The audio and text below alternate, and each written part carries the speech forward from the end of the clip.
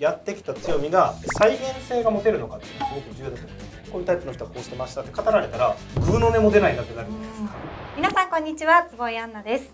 え今回もお笑い芸人からの転職就職を支援する会社の代表中北智弘さんにお越しいただきました。よろしくお願いしまます。す前回が、うん。あのまあ社会人2年目っていうことで、ちょっと初級編みたいな形だったんですけど、今回は6年目の方に来ていただきましたので、うん、はい。かなりの実力者ということでよろしいですかそうですね、はい、では早速お呼びしましょうか、はいそれでは2人目の方お願いします失礼します。よろしくお願いします。よろしくお願いしますではお座りください失礼します。今日よろしくお願いしますわざわざお越しいただいてありがとうございますよろしくお願いいたします。早速なんですけれども自己紹介からいただいていいですか？はい。寺田まどか28歳です。社会人6年目の年になります。えー現在はインターネット広告の営業を行っております。新規の、えークライアント獲得から顧客接触まで、えー、とオールマイティに行うタイプの営業となっております。ありがとうございます今日はよろしくお願いしますちょっとあの緊張されてますか？はい。何でございます緊張していると言ってからの笑顔がやっぱいいなと思いました。あのラフによろしくお願いします。まあ、あの。実績は職務経歴書から拝見させていただいて、まあ、はい。重々承知してますので、ぜひあの寺田さんのですねいいところをお伺いできればと思ってますので、はい。志望動機ですね。志望した理由っていうのはどこら辺からあるんですか、あえー、と現在はインターネット広告の営業を、まあうんうん。えー、と新規のクライアント獲得テレアポをするところから、えー実際にお客さんの方へ訪問させていただいて、うん。えーお客さんの課題をヒアリングしそこから適正な広告をご提案するっていうところから、まあ、運用のところまで、えー、とフォローするタイプの営業になっておるんですけれども、私は新規でえっとまあ、テレアポなどをして、はい。お客さんを獲得していくっていうところが自分の中でうんうん。思うように、えっとうまくいかないことが多々あるのでただ、えっとまあ、営業としては、えっとお客さんの方へ出向いた時に、まあ、お客さんからふわっとした課題を伝えられそこを、えっと具体的に現状を把握して最適な、えーお客さんがパフォーマンスを最大化できるような企画や、えっと提案をできることには自信があるので、あの自分の中ではまあ営業という職種よりもまあ企画という職種の方が向いているのではないかと考えて転職活動をしております。なるほど。ありがとうございます。ちなみに、えー新規の顧客がうまくいかないと受注がうまくいかないというふうに認識したんですけれども、なぜそれはうまくいかない事態が起こられていると思いますか？そうですね、はい。まあ、どうしてもあの実際に、うんうん。あの新規のクライアントを発掘していく中でうんうん。あのやっぱり一番最初に本当にニーズがあるのかどうかってうんういうん。ところわからないお客様に言い方悪いですけど、まあ、むやみやたらに電話でアポイントを取得したりとか時には飛び込みで営業をしたりとかっていうのがどうしても自分の中では、えなるほどーとまあ、納得いくような仕事の仕方ではないので。もう少し戦略的にあの、うんうんうん実際に求められているお客様に対して最大限のあの商品を提案したいなと考えております。なるほどなるほど。とはいえ短期中期長期的な話で、まあ、お客さんを育てていくっていう考え方もあろうかと思うんですけどもそういうこう営業スタイルみたいなのはやられてたんですか？そうですね。あの、はい。やっぱりあのどうしても新規の、えーとはい。お客様を獲得するまでには同僚と比べると時間がかかる方ではあるんですけれども、うんうん一度受注してお客さんになっていただけたら、うんうん。えー、とその後のアフターフォローですとか新しい企画の提案ですとかそういうのはうんうん。他の人たちよりもよりお客様に寄り添った提案をして、あうんうん。のプラスアルファのアップセルにつなげるようなことができると自負しております。なるほど。ちなみになんか企画が向かれてるというような話だったんですけれどもなぜそう思われたんですか？そうですね、まあ、実際には、えっと、弊社にある、まあ、最初からラインナップされている、うんうん。えっと、商品をただ、えっと、ご提案するというのも、あの一つのスタイルではあるんですけれども、うんうん。そこをまあ組み合わせて実際に今ない商品をお客様の課題をもとに、えっうんうんうんうん。と新規で作り上げていくというような案件が結構多いのでやっぱり私としては、まあ、新しいものを、えっと、企画していくという方が、えっと、自分の能力としては向いているのではないかと考えています。ちなみにせっかくなんでもうちょっと具体的になんか手応えがあった仕事ってどうなんですか？これもうめちゃめちゃやった自慢したい仕事？そこ言える範囲で結構ですけどそうですね、まあ、最初は、うん。えっとまあ、おお客さんに、まあ、予算が、まあ、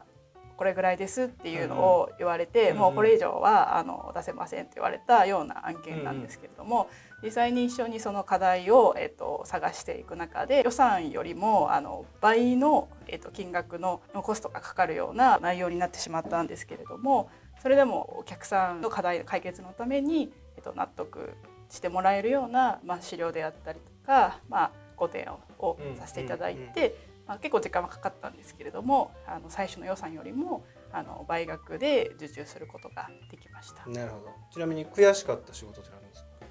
そうですね。自分の中では、えっと、絶対これはベストな提案だと思って、うんうん。え受注できるだろうという見込みで、うんうん。あの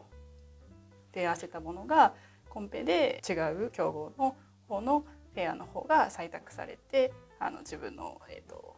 想定の受注はできなかったということがありますね。ちなみにその採択されなかった、まあ、ルートコースというか根本原因ってどころだと思いますか？そうです。まあえっと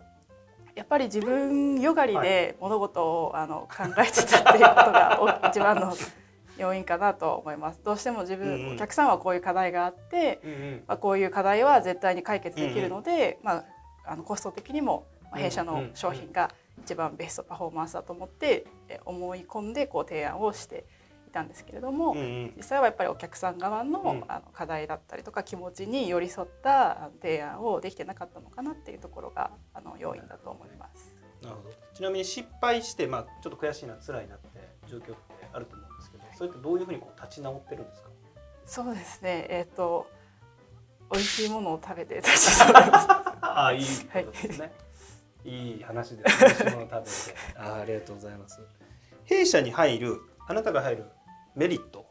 ってどこにありますか？まあ私はえっ、とまあ、うんうん現在はインターネット広告の営業をしておりますけれども新規の営業の部分が多少苦手ではあるんですけれどもまあそのもともと6年間営業をやってきたというあの経験と、まあ、あとは、えっと、お客さんの、えっと、ニーズや状況を把握して、えっと、現状を改善する提案などができる、まあ、その企画力というところが御社では活かせると思っております。うんうんうん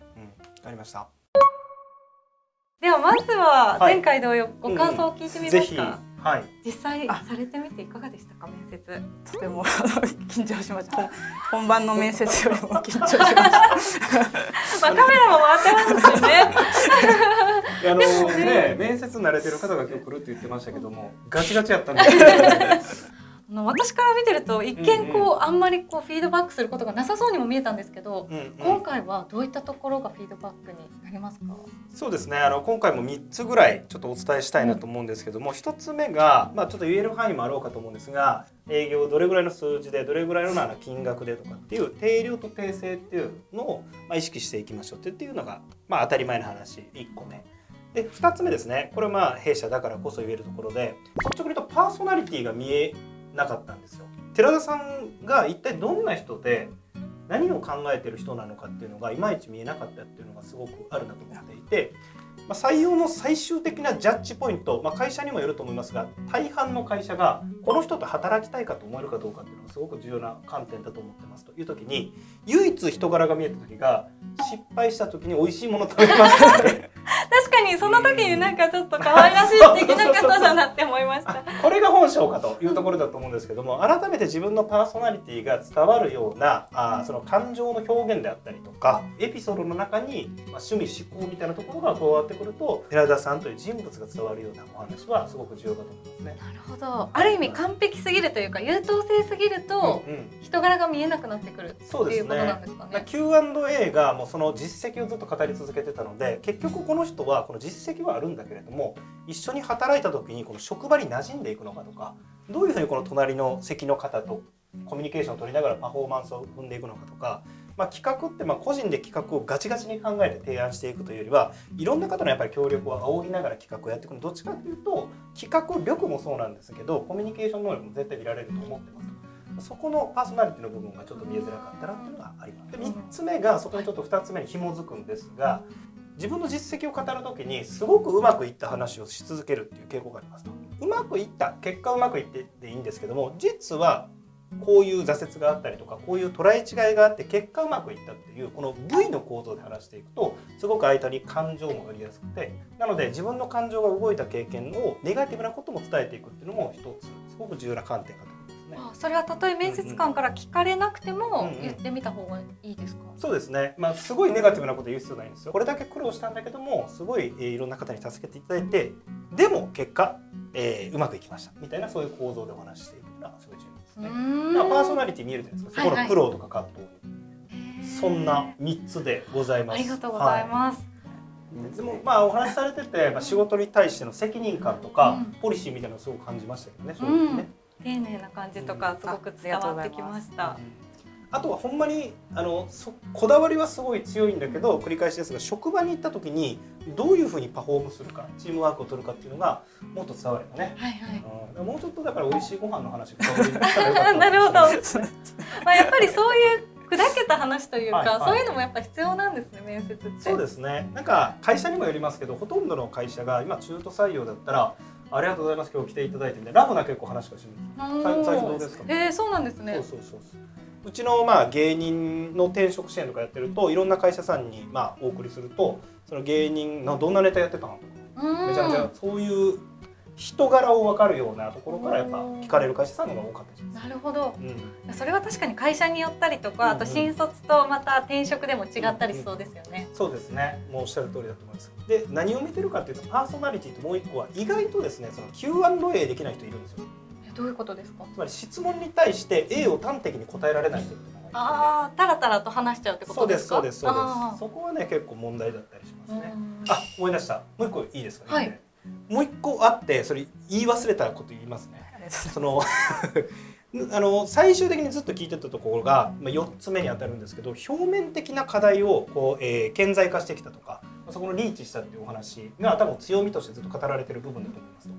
でそこに対してじゃあ弊社で再現性が持てるのかっていうのはすごく重要だと思ってますつまりどこの会社でも同じようにそこの強みがパフォームされるのかってすごく重要でなのでそこの言語化について例えば3つのステップでヒアリングで言語化してましたとかこの3つの質問をすることで私の中ではできるんです。みたいなことが具体化されてた方がいいと思うんですね。ん。なんかこうお話しする中で過去の経験同業他社、まあおっしゃることは分かるんだけれどもそこに対して言語化の思考をされてないように見受けられるので本当に、えーその